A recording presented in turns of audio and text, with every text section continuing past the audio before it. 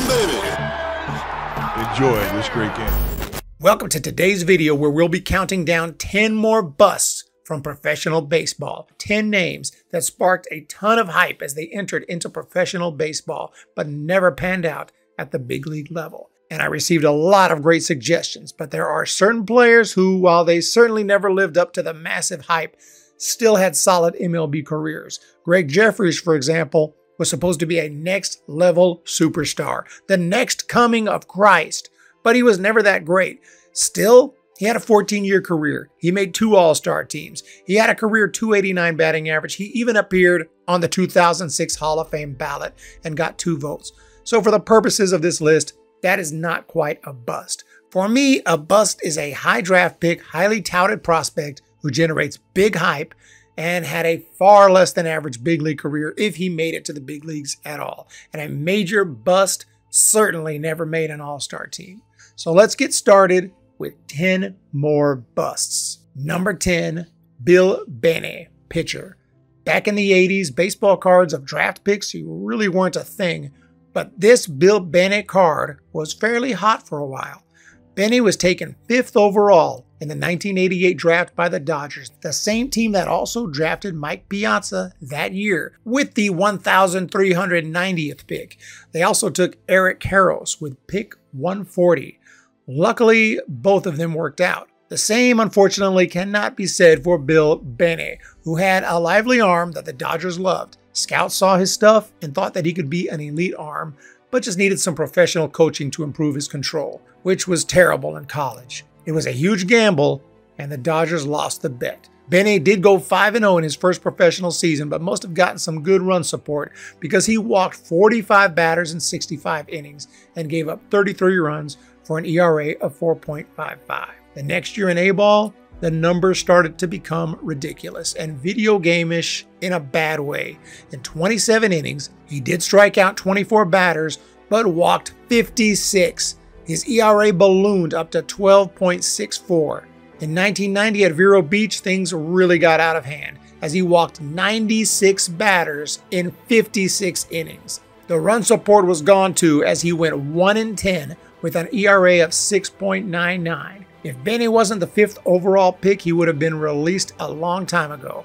Instead, he came back year after year showing some slight improvements here and there, but never being able to consistently command the zone whatsoever. In 1994, still in the Dodgers organization, he walked 49 batters in 50 innings with a 6.04 ERA, strictly coming out of the bullpen at this point. Mercifully, the Dodgers released him. The Reds took a chance on him, but he walked nine batters in four innings in Double A to end the experiment. He was out of baseball in 1996, but did make a comeback attempt in 97 with the Angels. And even at this point, he struck out 70 batters in 68 innings, but walked 66, going 0 4 with a 6.68 ERA. He was finally out of baseball, but continued to get busted even later in life, as he was arrested and sentenced to six months in jail in 2012 for operating a counterfeit karaoke business without paying taxes.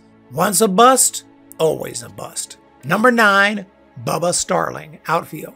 A recent massive prospect, Bubba Starling, was a three sport star and the number one baseball recruit in the nation back in 2011. He was seen as the most athletic player in the entire draft, and the Royals took him with the fifth overall selection, just ahead of Anthony Rendon, who the Nationals took at number six. Starling was also taken ahead of Francisco Lindor, Javi Baez, George Springer, and Brandon Nimmo in an extremely talented draft class. His minor league career was nothing special. In a full season in A ball in 2014, he hit just 218 with 8 home runs and 17 steals.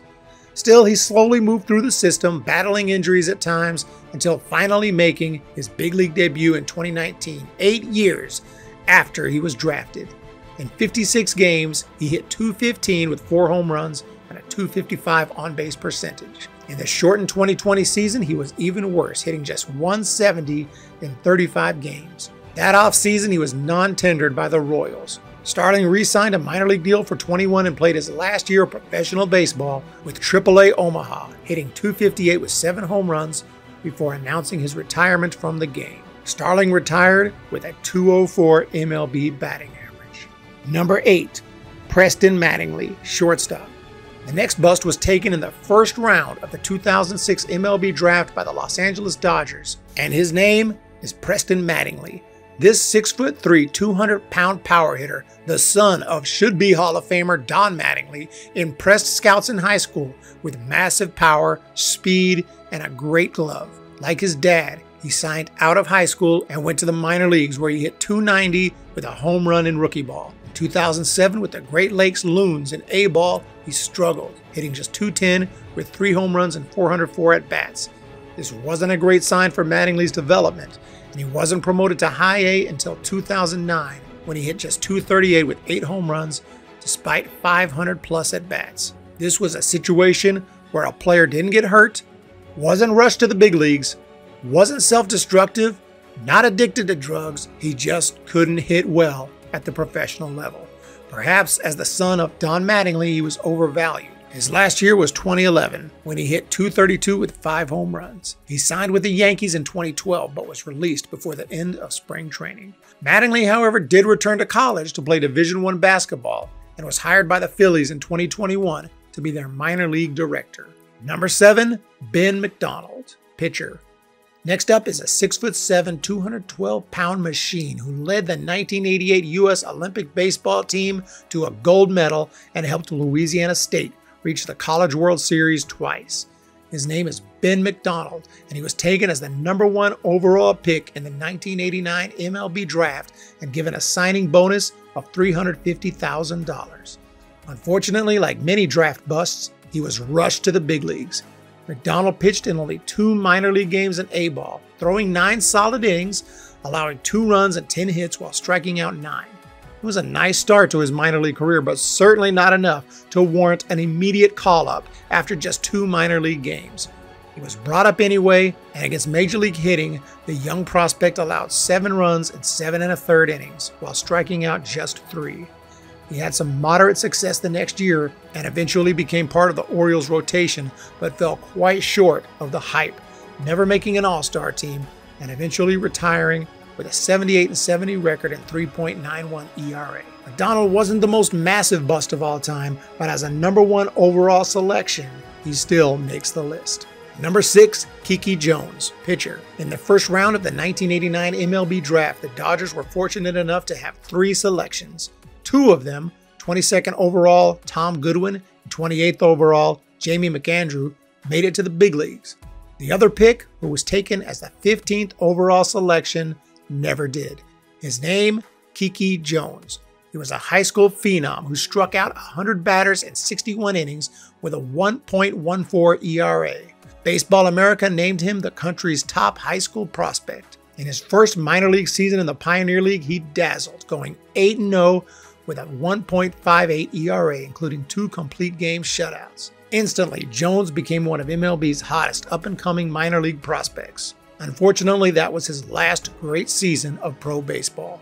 The next year, after going 3 3 with Bakersfield in A ball, Jones' season ended due to tendonitis. He made nine starts at Vero Beach in 1991, going 3 1 with a 4.1 ERA, but continued to struggle with injuries. In three starts in Double A in 1993, Jones went 0-1 with a 4.5 ERA. His strikeout numbers were dropping off as well. By 1994, he was completely out of baseball. Jones made a comeback attempt in 1998 with the Tampa Bay Devil Rays organization, but was ineffective in three appearances in High A. His last hurrah was a brief run with the Rangers High A team in 2001 when he went 0-1 with an 18.69 ERA. Jones is one of the many sad stories of insanely talented young pitchers who get injured early in their minor league careers and are never able to make it to the big leagues. Number 5, Calvin Murray, outfield. As a Giants fan long before the three World Series championships, I remember vividly the hype around an up and coming prospect named Calvin Murray.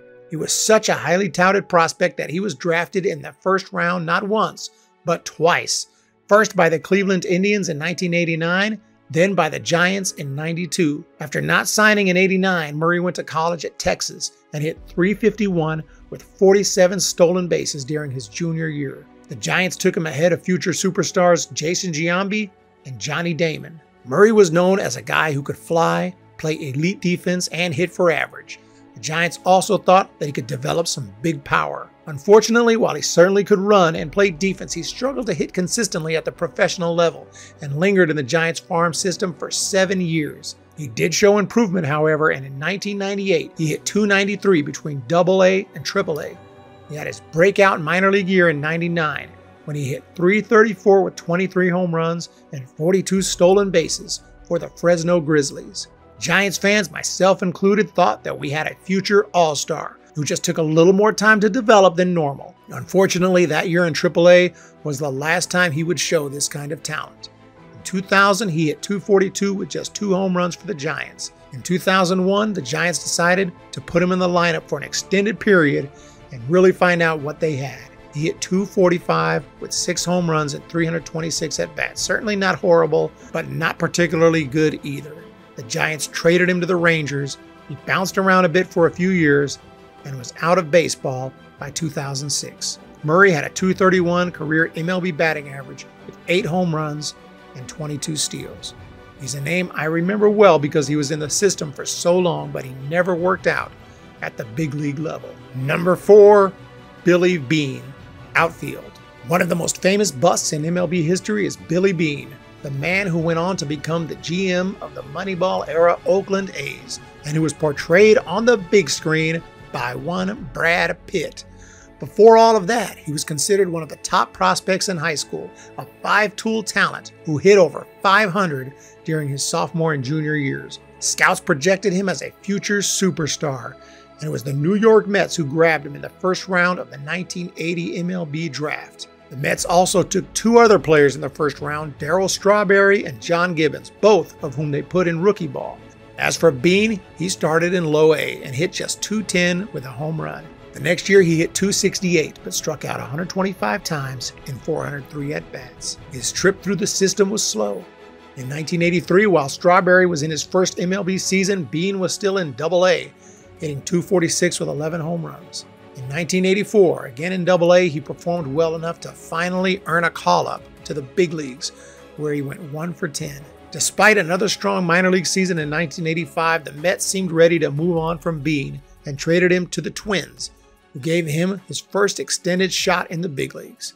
Beane hit just 213 with three home runs. He also played briefly for the Tigers and A's, never quite making it at the MLB level as a player. He found another path and has since become a successful baseball executive despite being one of the most noteworthy busts in MLB history. Number 3, Eddie Bane, pitcher. Drafted in the first round out of Arizona State in 1973, Eddie Bane was considered a can't miss pitching prospect, good enough in college to be elected into the College Baseball Hall of Fame. His college stats are insane a 40 4 record with a 1.64 ERA, he broke and still holds the ASU strikeout record and also threw a perfect game. Bane also won a silver medal in the 1971 Pan American Games. Unfortunately, the Twins made the same mistake as the Rangers made with the first selection in the 73 draft, David Clyde. The Rangers promoted David Clyde directly to the big leagues, and the Twins did the same thing with Eddie Bane. He completely bypassed the minors, which of course is a recipe for disaster. Bane went 0-5 with the Twins with a 4.92 ERA. Like Clyde, he showed signs of brilliance and had a few good games here and there, but simply was not ready for the big leagues. So they put him in AAA for the next couple of years, where, after first getting used to life in the big leagues, he had to begin his minor league career. He was finally called back up in 75, started four games, and went 3 1 with a 2.86 ERA. But this would be his best season. The next year, Bane went 4 and 7 with a 5.11 ERA and never pitched in the big leagues again. Bane showed massive potential throughout his pro career, but the mishandling of him by the impatient Twins front office was likely a major contributor in Bane never being able to really take off in the big leagues. Number 2, Donovan Tate, outfield.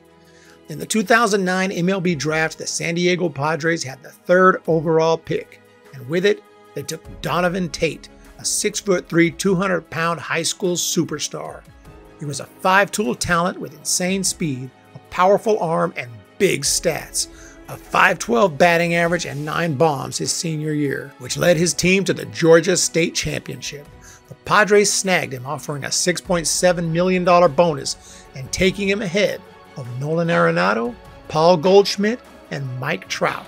Unfortunately, the massive talent he showed in high school never translated to pro ball. In his first year, Tate hit 222 with two home runs in rookie ball. The next year, he played in only 39 games in A ball, struggling with injuries such as a sports hernia, broken jaw, and a sprained shoulder. He also had problems with drug abuse, and in June of 2011, he was suspended and required to attend a drug treatment program. He stayed relatively healthy in 2012, but hit just 226 with a home run and 440 at bats in A ball. Tate stuck around that level through 2016, never making it to Double A. The 26 year old retired from baseball and returned to college to play quarterback for the Arizona Wildcats. The Padres, especially during the 2000s, were known for poor drafting, but this may have been their biggest bust of all, as he never even made it past high A. Number one, Dustin Ackley. My number one bust in today's video is Dustin Ackley, who was drafted just before Donovan Tate, which makes him the second overall pick in the 2009 draft. Number one, by the way, was Stephen Strasburg. Ackley was a fantastic college player who broke several North Carolina records, including 119 hits in a season, which he did in only 73 games. In his three college seasons, he hit 402, 417, and 417 respectively, with 22 bombs in his final year. He won multiple Player of the Year awards and was ranked as the number one college prospect in many publications, including Baseball America. He was considered the best and most professional ready offensive player in a draft that included the names I mentioned earlier Arenado, Goldschmidt, and Mike Trout. The Mariners were confident enough in his abilities to agree to a five year, $7.5 million MLB contract before he signed. His first full season in the minors was split between AA and AAA, and he hit 267 with seven home runs. Not terrible, but definitely not second overall pick numbers. He looked better in 2011, hitting 303 with nine home runs through 66 games, earning a promotion to the big leagues. He hit 273 with six bombs and would be a regular for the Mariners in 2012. Unfortunately, he wasn't that great, hitting just 226 with 12 home runs and an on base percentage under 300. He ended up back in AAA for a portion of 2013, hitting well, but still struggling with consistency at the big league level. He had a few good streaks and definitely showed some potential from time to time, but would fall into prolonged slumps and never got close to becoming the player he was projected to be. Eventually, the Mariners dealt him to the Yankees. He battled injuries there for two years, never contributing much, then signing with the Angels, where he stayed in AAA for two years. Finally, in 2019, the Mariners signed him to return to his original organization, but he was released during spring training. He ended up hitting 241 with 512 hits and over 2,000 big league at bats, which is why he didn't quite make my top 10 busts of all time. But given the fact that he was one of the most decorated college players ever, and he was hyped up to be the best offensive player available in the draft, he certainly earned bust status, in my opinion. That does it for my video of 10 more busts, which is a follow up to my top 10 busts of all time which will be linked up above if you have not checked it out yet. If you have, I'll also link another video as well. Let's do the one on Matt Harrington, who may have been a bust, or maybe he would have been an all star. We'll never know because he never signed despite being drafted five times. So if you enjoyed this video, check out one of those or just hit that subscribe and thumbs up button. I would really appreciate it. Thank you so much for taking the time to watch my videos, and I'll talk to you next time.